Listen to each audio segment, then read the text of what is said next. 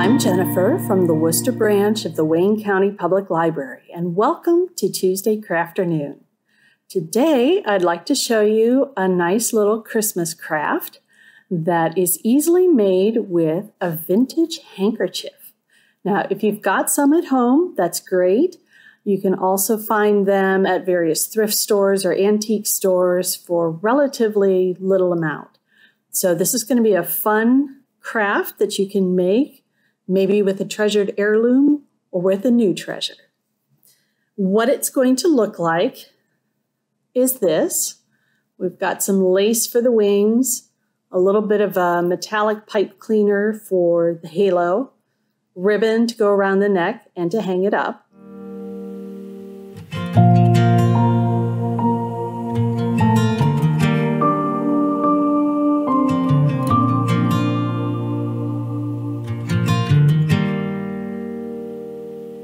What you're going to need is, like I said, a vintage handkerchief, a foam ball that is about an inch and a half in diameter. You need ribbon, and we're going to cut a length about 18 to 24 inches long. You'll also want some lace ribbon, and this is wider um, it's pretty much the same on both sides. Doesn't have to be if you don't want that, but we're going to cut about four inches of this for the wings. You'll also need a metallic pipe cleaner if you can find one.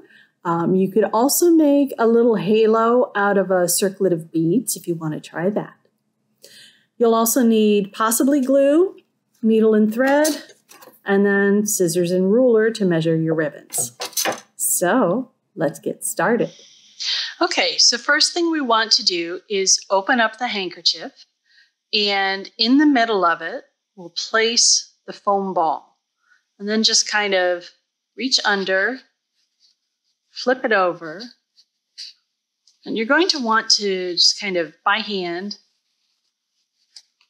gather it together. And we are going to tie the ribbon around. It. Now I would take this down towards one of the ends to tie it.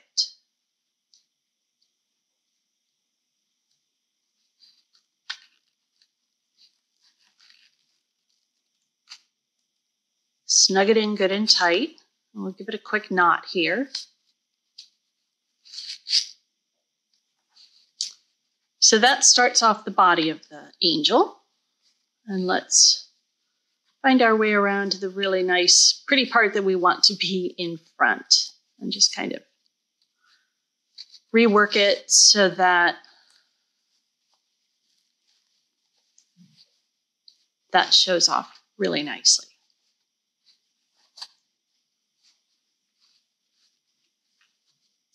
Okay, what we want to do next is and I'm going to make a correction here. We'll make it in the description box below as well. But the flat lace is actually going to need to be about eight inches long because we double it over for the wings. That's my mistake. So what I want to do here is go ahead and stitch that together. And what I have queued up is actually some embroidery floss from the last project. So this isn't going to be my best work. It would be best to match your thread to the lace, but I'm going to try and hide it. So we'll see how this goes.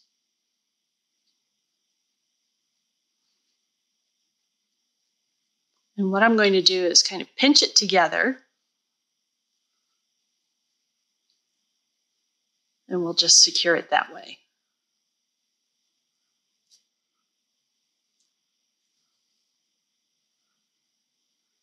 You can do this however works best for you. Um, if you want to leave the lace flat and just do like a running stitch up it to hold the overlap in place, you can do that.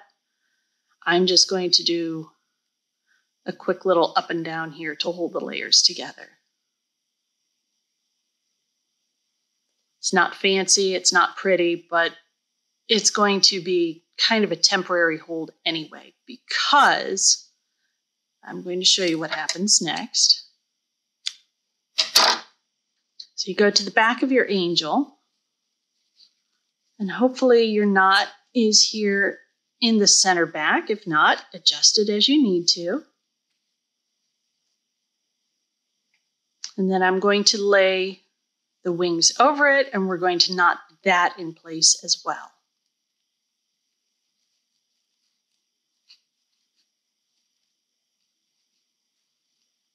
Or we're going to try to with my fumble fingers. You know, some days the fingers work, some days they don't. Am I right?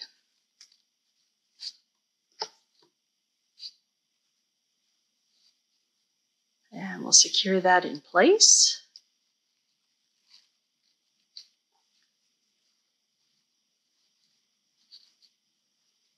Now, if you wanted to make these wings a little bit bigger, you can certainly do that. You can use wider lace, you can use a longer length so they go out to the side more.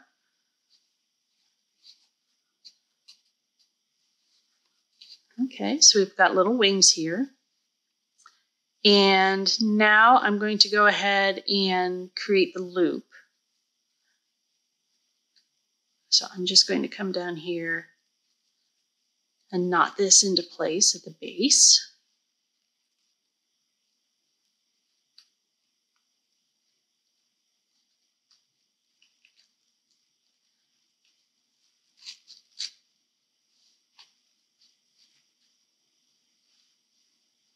Okay, so we've got the loop that'll help us hang it on the tree.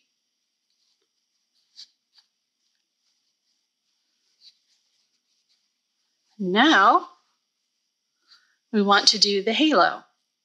Now, if you want to do just a simple circle with your pipe cleaner, you know, you're just going to bring the one end around, make your circle, and wrap the end around the rest of the stem. You can do that and then just trim it and glue it to the top here.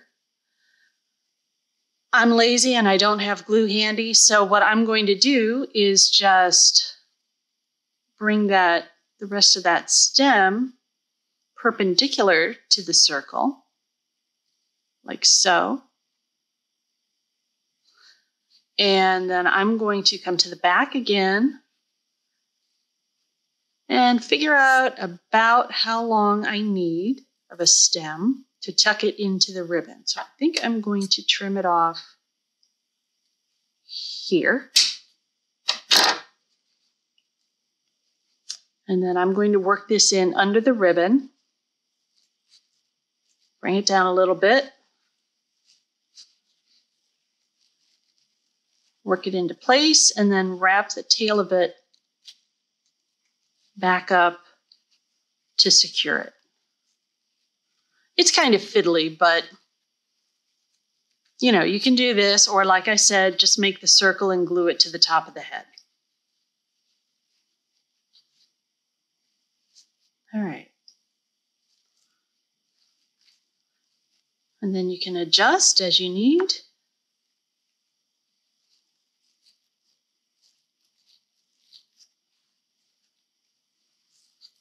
And there we go. You've got a little handkerchief angel. You could hang it on the tree. You could hang it from a wreath. If you wanted to do a couple of these, the, you could just hang them from the curtain rods or however you want to do this at home. That's all there is to it. And what I will do is for the week after Thanksgiving, I'm going to put together a number of take it and make it kits for these handkerchief angels so that you will be able to call and reserve one, pick it up, take it home, and make your own. So, for today, I hope you enjoyed this. Hope you give it a chance at home. And stay healthy, be kind, and get creative. Bye bye.